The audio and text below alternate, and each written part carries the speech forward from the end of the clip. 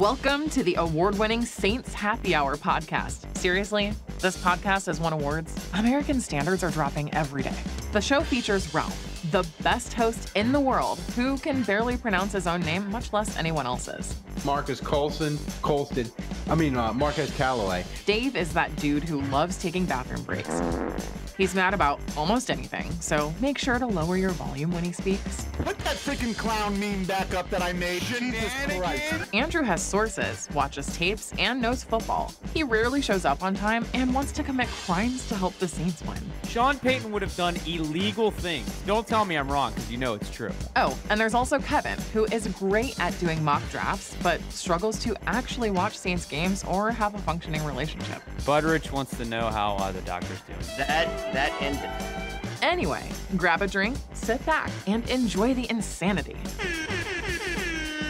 All right, everybody, welcome to another edition of Saints Happy Hour podcast. Kevin, when you sh- when you when you shake your head back and forth, you confuse you just threw me completely off kilter. Uh, by shaking your head, like now I'm thinking there's audio problems, there's No. video problems. No, no, it's just it's the fact that I have to mute the audio on my computer every time you do your intro because I don't need I don't need these bad boys getting blown out. Uh, I am over 40. Once you are over 40, You gotta everything gotta- is a risk, earplugs, That's right. man. That's right. including hearing your intro. So Kevin threw me off for a second, but welcome to Saints Happy Hour podcast. Go to saintshappyhour.com, sign up, become a patron. Kevin, I want to just thank uh, Carter, John, Wendell, Joe, Andrew, and Jason. They all signed up in the past week to become a patron and support Saints Happy Hour. They're going to get all the podcasts we do for free. They're going to get access to the Discord. They're going to get access to commercial free episodes. So join us. Saints season is here. Make your Saints season more fun. Support the award winning podcast. It's almost here. It's uh, it's true.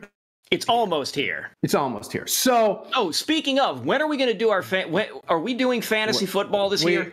we're going to do it. I gotta I gotta get organized. I got I got a lot of personal issues.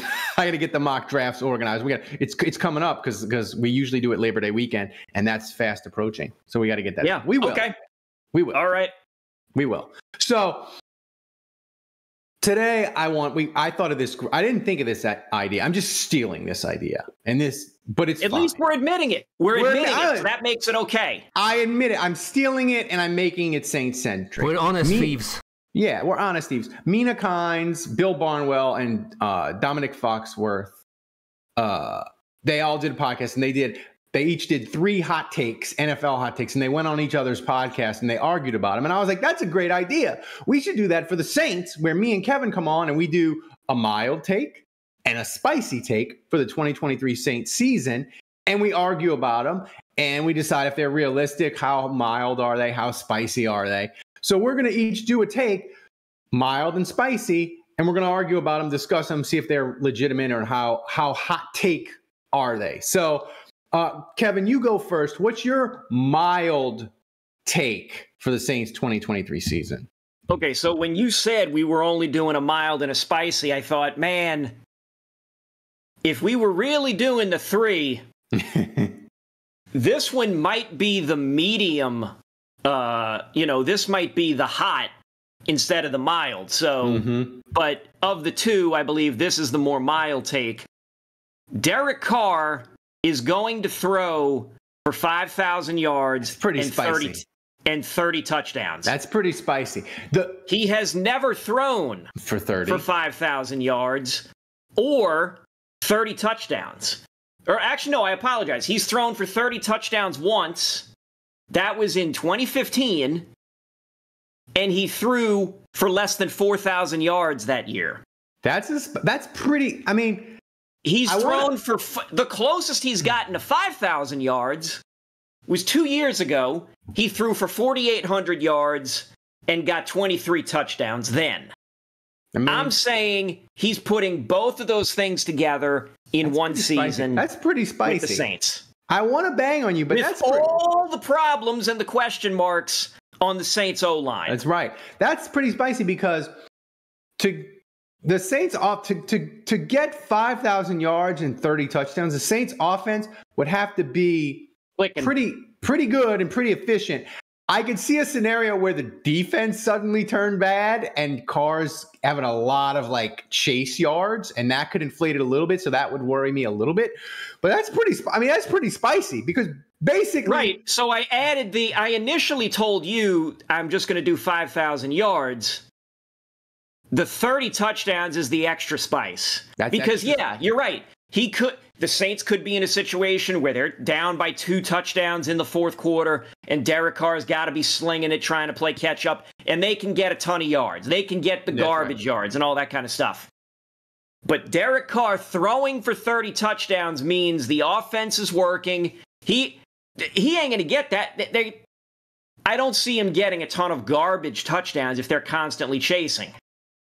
Yards, yes, but the touchdown thing is is where it'll separate. I mean, and listen, as Saints fans, we're kind of not not not not like immune to it, but like Drew Brees threw, he did five thousand yards, what five times? I'll check so, that. So Saints fans, we are like, oh, 5,000 yards.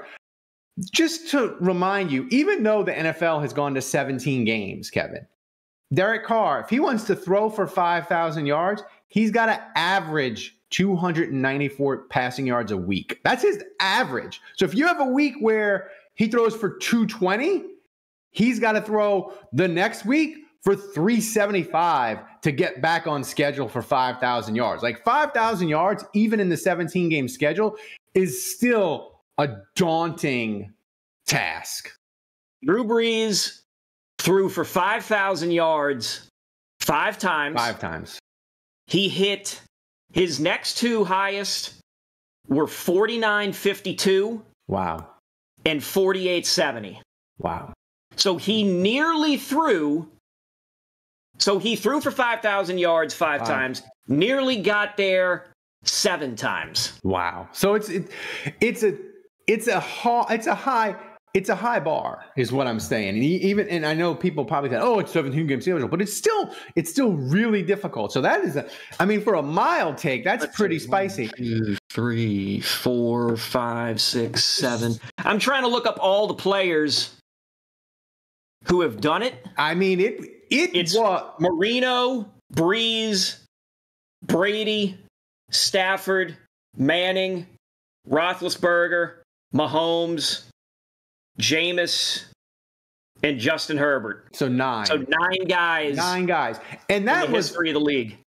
the long for the longest time the 5000 yard barrier was sort of the unreachable star of NFL records. Like Right. Marino it, was, it was Dan Marino. It was Dan- forever. It was Dan Marino for 24 years. Yeah. And then Drew Brees did it. Yeah. And then it was a couple more years. And then suddenly, ev you know, Dr- Brees kept Yeah, racking them up. And then, every, and then The Tom Brady the and league- the league's Manning changed. It's a passing league now. It's it's it's easier Yeah. to do. So so Well, but easier in It- quotation marks. I it's mean, more it, teams throw I mean, the Justin, ball more. Justin so- Herbert, Justin Herbert, Mahomes, and Brady each have one with the 17 game season. Brady got one at 16, and Mahomes got one at 16. Well, the thing that makes it so hard is Derek Carr could be on schedule for 5,000 yards at Halloween, right? And you could be like, "Mm, this my my take. I told you guys, if he's on track for 5,000 yards, he's on track for 30 touchdowns. And then the Saints get to November and they could win 3 games in a row where they run the ball, maybe the offense kind of struggles a little bit and Derek Carr 3 straight weeks throws for under 220 and you can kiss 5,000 yards goodbye because then he's got to throw in a couple 400 yard games just to get back on track. So it's still a very difficult one to reach. So that's that's that's a strong mile take. But my mild take, Kevin, sort of ties into yours. And I said my mild take, Chris Olave is going to be second team all pro receiver. Now everybody's high on Olave. yeah. Field Yates says, "Oh, Olave is going to be a top ten receiver." Saints fans, even the media say he's looked great. He's the Saints' best player. He's going to be a top fifteen, top ten receiver. But when I tell you he's going to be second team All Pro. When you look at the receivers who have been All Pro, you're talking Justin Jefferson, 1,800 yards, Tyreek Hill, 1,600 yards, uh, AJ Brown, 1,400 yards. You're talking for Olave to be second team All Pro, you're talking 90 plus catches and minimum 1,400 yards if you want to be second team all pro because you're talking when you're talking second team all pro kevin you're talking top two or three receivers in the nfl you're talking better better stats than Ja'Marr chase equal to justin jefferson Tyreek hill aj brown anyone diggs from buffalo anyone you want to name. So that is my mild take.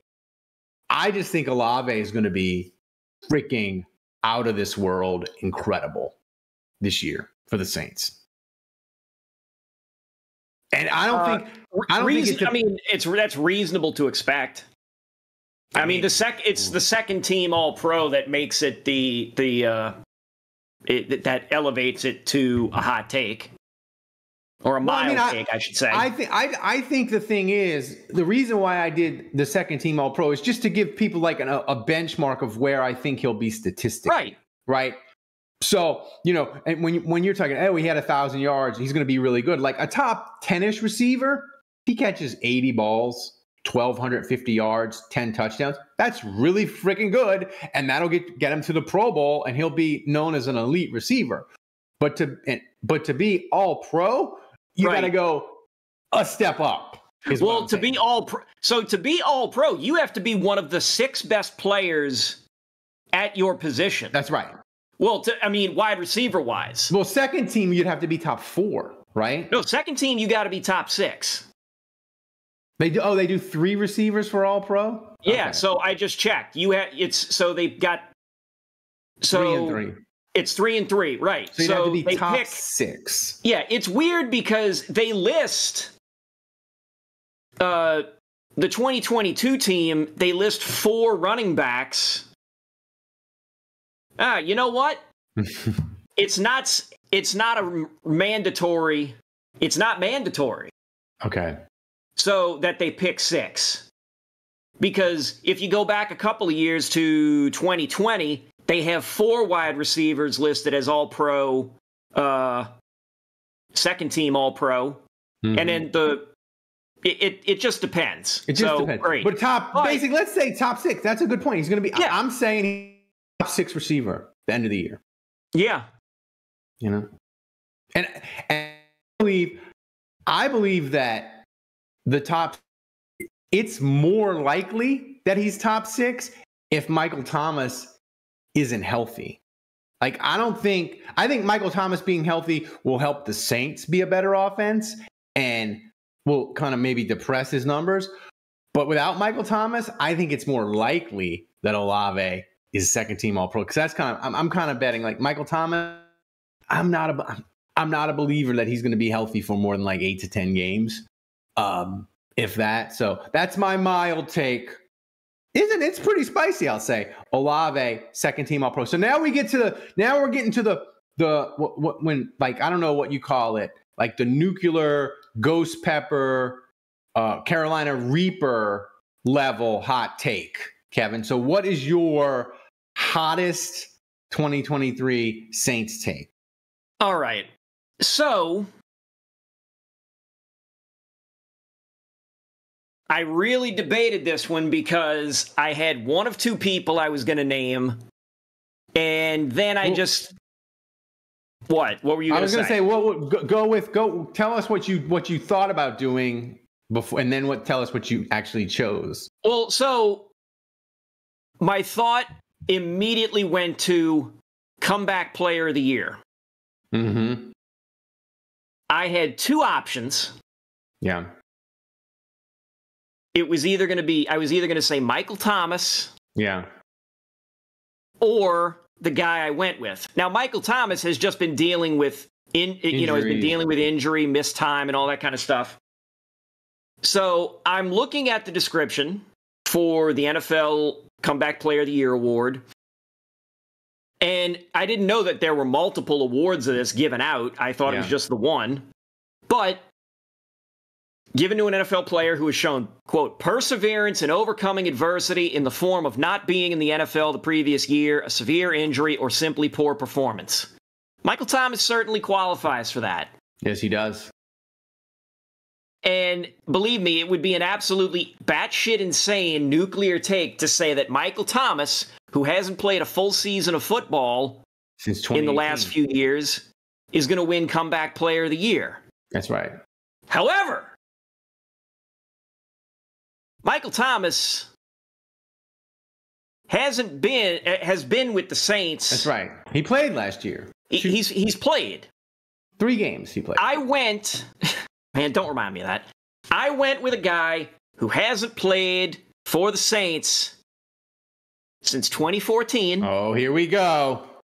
I Oh, wow. went with a guy who was on pace to being one of the five greatest tight ends of all time, and then basically walked away from it be- because hi either him or his agent thought he deserved wide receiver money. I went with a guy Oh, who bounced around teams for the last several years, barely showed flashes of what he was. The last time he showed a flash of who he was, he was playing against the Saints in the Superdome and caught a, an amazing touchdown pass at the end of a game and walked to the locker room. and walked to the locker room.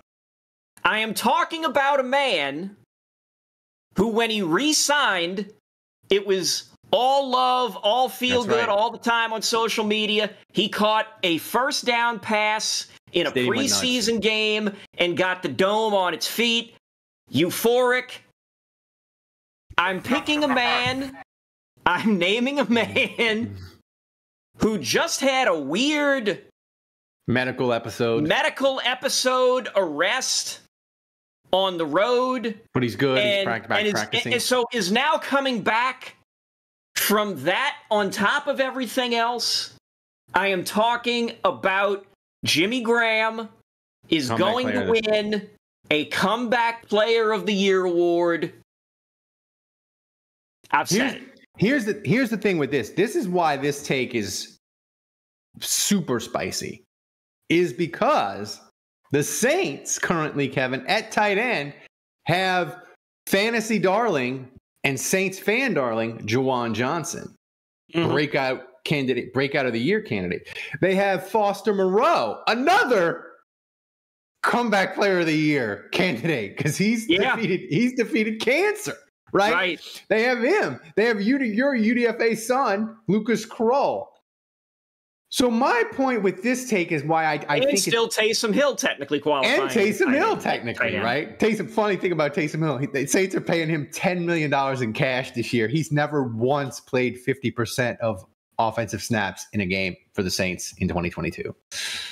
Good money if you can get it, Taysom. But here's my here's my concern with this hot take. For Jimmy Graham to be comeback player of the year, I think the Saints gotta have they might have to have the injury apocalypse at tight end. He'd have to become the guy so that like Juwan Johnson would have to get injured. Foster Moreau would have to get injured. And then the Saints are like, oh, we gotta go, we gotta play Jimmy Graham all the time. And he plays really well and catches 45 or above balls. I don't I don't know if Jimmy Graham, Kevin, can be the comeback player of the year if he does the role the Saints have envisioned for him of red zone beast, catch 15 to 20 passes and five touchdowns. Like that would be great, and we would love that as Saints fans. I don't know that that gets you to comeback player of the year. You t- let me tell you this. So you're first of all, he has to make the team. Yes, He has to. It's not. It's still not a guarantee. that's right. because we we really don't know what the what the arrest medical episode thing is going to turn out to be. Um, you know, is it it, it he, maybe he was doing maybe he was doing something. Uh, I think most of us tend to lean that that that uh, that was not the case. That he either was having a medical episode or that something was done to him to put him in that Mhm. state. Uh, I mean, the LAPD bullshitting? No. Um, but so, so even then, he still has to make the team. You're going to have Juwan Johnson, Taysom, and Foster Moreau who are going to be there ahead of him. Are they going to put a fourth tight end on the roster? He's going to have to beat out. He's going to beat out Lucas Krull. Like Lucas Yeah. Krull's not Yeah, playing well enough, Lucas so it's going to be. practice Is squad. he? Is he playing well enough? I, I mean, shit. Maybe this medical episode could that actually be something serious where he has to maybe go on IR or something? Uh, yeah. We don't know. we don't know. IR, so he has to make the team. Now you're talking about all these other guys got to be injured. Juwan Johnson's got to be injured. All this other kind of stuff. But you caught your. But you see, you gave the answer in your rebuttal. Oh, really? Here we go. If he is the red zone guy, let Juwan Johnson, let Foster Moreau catch him from 20 to 20, and let Jimmy Graham take you the final furlong. Jimmy Graham can get you 30 catches, seven touchdowns, and three dunks. That, that that'll get you put. That'll get him comeback player of the And that will. I'm telling you, That'll I get him. think that could get him comeback think- player of the year. I think. I think it could, think it especially could. especially if the S- especially if the Saints win the division. That's right. If they look, you know, if they look like if the offense looks re, you know, retooled, Reborn. you get you get enough. Listen, comeback player of the year. A lot of times it's vibes, man. It's a vibes. vibes award. Yeah, yeah, and that's Geno. Smith won it last it year. It could be. It could be a case of the Saints. A game gets flexed, or the Thursday night game against Jacksonville, or the Monday night game against Carolina. Jimmy Graham hops in the time machine and has six catches for 97 yards and a and, and the game winning touchdown and a dunk, right? And then that's like for for your the the vibes, like that when you do it on Monday night, you do it on Thursday night, you do it on Sunday night, like it just carries more weight with Right. these awards. It just does. Right. You know, so I think that's a great point. Can I sign right now? 30 catches, seven touchdowns, and three dunks. Can I sign up for that right now? Regardless of if he wins just, the comeback player I'm of the just year. putting that out. I like but this. Here's the funny thing: thirty catches. That's that's less than two a game. That's right. That's less than two a game. I honestly think if he's on the team and he's playing, he he would get enough targets to warrant two catches a game. Yeah. He Because would easily he would get enough targets to warrant two catches a game. because they'll be in the they'll be in the red zone at least three times a game, even if they're awful, right? So I that's a super spicy take. But I Okay. think, but I think my hot take, my my Carolina Reaper hot take, uh, is even more spicy than yours. Okay, The Saints only had one interception by a corner last year, Mal Marshon Lattimore, uh, on week week 16, right? Or week, week 17, I guess, against Philadelphia. They only created 14 turnovers the entire year. The Saints are going to lead the NFL in turnovers created. And that would mean the Dallas Cowboys were number one. They created 33 turnovers in 2022. That would mean the Saints are going to go from 14 turnovers to about 35. The turnover train slash fountain is going to flow, Kevin, and our long national nightmare of the Saints not being able to create create turnovers, being as Saints Twitter likes to call them, the no catching motherfuckers.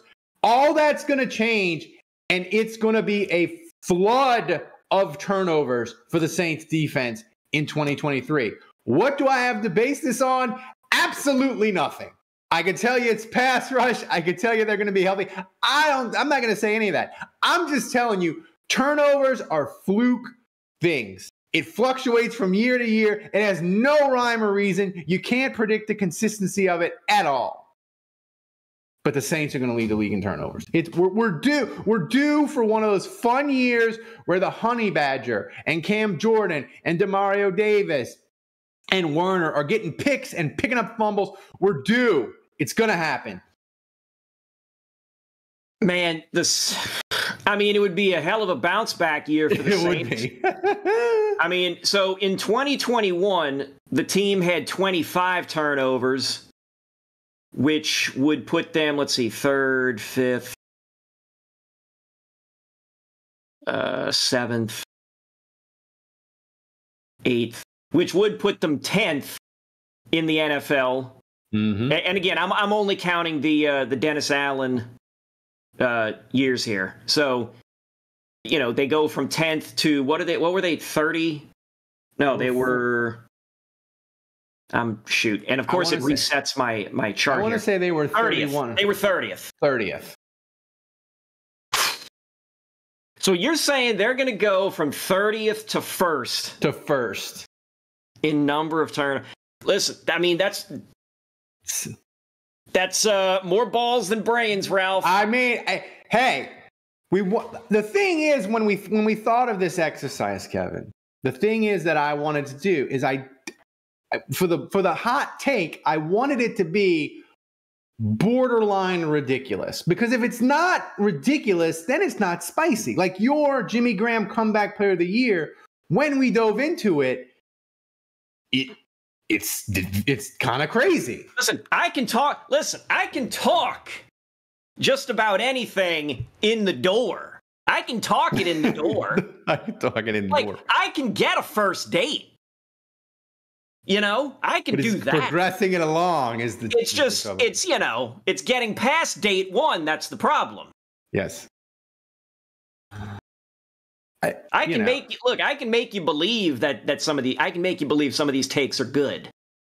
I mean, I'm not. Listen, but here's the thing: they're not supposed to be good. They're supposed to be hot. I can make you, but I can hot. make you believe in a hot take. I can make you believe in a spicy take. I'm not, here. I'm not just saying this. Uh, like, I'm not pulling a Skip Bayless or a Stephen A. Smith. I'm not just Yeah. bullshitting for the sake of bullshitting. I'm saying I can see how that's possible. Here's the thing for the Saints for the for the turnovers for them to create turnovers. I really believe their defensive line, which last year, let's be realistic, it was pretty terrible, as Dave would say, pretty bad. And they've added a bunch of new guys, Bresee, Saunders, who looks great. Payton Turner, he's been on the team, but he's been injured. He's been looking better at training camp, right? Uh, Carl Granderson maybe has a breakout year. I believe their defensive line last year was so bad that if they just get to average, Kevin, if they just get to average defensive line, like in the 12 to 16 range, when you put their secondary and Dennis Allen's ability to scheme and coordinated defense, when you put those two things together, that's going to be the turnover explosion. That's my bet. The defensive line is going to go from sad to average. That is my key for my scorching hot take of the Saints leading the NFL in turnovers. Okay. so guys, I hope you like this podcast. Thomas, Thomas, you can cut this one up. We got we got hot takes that you can clip and we can dominate the Saints YouTube channel. We can dominate Twitter. We can dominate the social media with these scorching, melting Right. hot takes. You can split it in two. Split it in two and and, and and and cut up the bites and make it. We can we can own Saints Twitter with these hot takes. So guys, Thanks for joining us. If you find us on YouTube, hit that like button, hit that subscribe button. Go to saintshappyhour.com, become a patron. Uh, we're the best Saints podcast going. You get more content, you get all our content commercial free. It's amazing. You should do it. So thanks to Kevin for hanging out with us. Thanks for Thomas, as always, running the show back in Poland. He does amazing work. He got my camera working, he got my audio sounding normal, uh, and the support of patrons allows us to do that. So for Kevin, for Thomas, I'm Ralph. Until next time, the bar is closed. Answer that phone.